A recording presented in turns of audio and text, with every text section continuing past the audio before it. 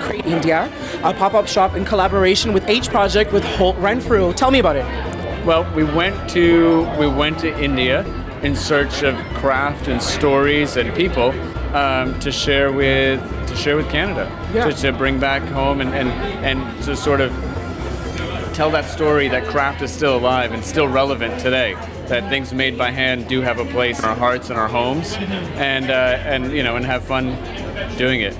Now, tell me about the collection, a lot of the pieces that you've collected together for Uncrate India. It's everything from fashion to home, accessories, uh, notebooks, leather notebooks, paper notebooks, um, scarves, ju- jewelry, obviously.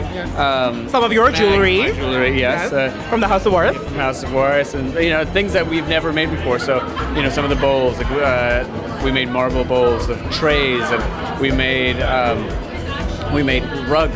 Yes. You know, so so there's all sorts of there's all sorts of experiments and adventures that happen along the way.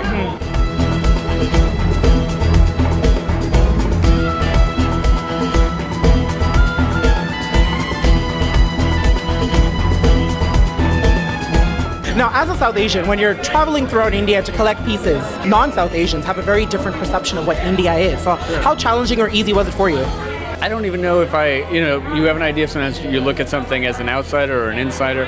I grew up in New York, so I, don't know what my perspective is, you know, really, but it's in me.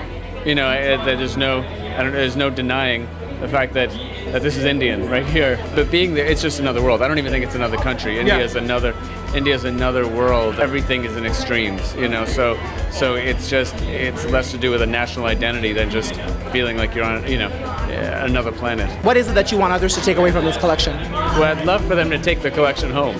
I think and make it, make it a part of their lives. Take the rugs, take the books, take the jewelry, take take all of it home and make it a part of your lives. The idea that, and you know, all joking aside, that craft and that these things, these stories can be a part of your life.